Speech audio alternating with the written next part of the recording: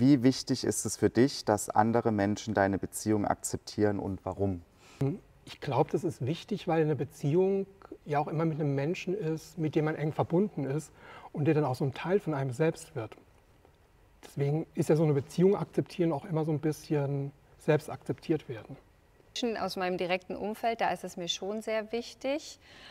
Bin ich aber tatsächlich auch erst drauf gekommen, als, als dann plötzlich immer ein Thema war, dass ich mit ähm, ähm, hier mit jemandem zusammen bin mit Migrationshintergrund. Bis, da, bis zu diesem Zeitpunkt hatte ich mir darüber nie Gedanken mhm. gemacht. Ich will einfach authentisch bleiben können. Genau. Und ähm, da ist es mir, dann kommt es eben darauf an, dass mein Gegenüber das eben akzeptiert ja. und respektiert. Ähm, äh, und, und das ist mir wichtig einfach, dass ich mich nicht verstellen muss. Mir ist es schon wichtig, dass andere Menschen meine Beziehung äh, akzeptieren weil Mangel an Akzeptanz eine Beziehung belasten kann. Ähm, mir ist es natürlich wichtig, dass andere Menschen meine Beziehung akzeptieren und das dazu führt, dass ich halt allen davon auch erzählen kann, also dass ich nichts verheimlichen muss.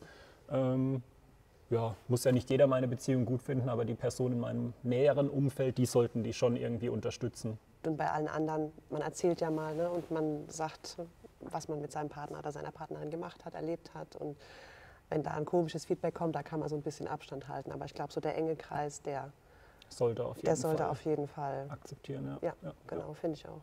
Also für mich ist es auch ganz wichtig, dass ähm, die Beziehung akzeptiert wird, einfach um ja, mit den Menschen offen umgehen zu können, mhm.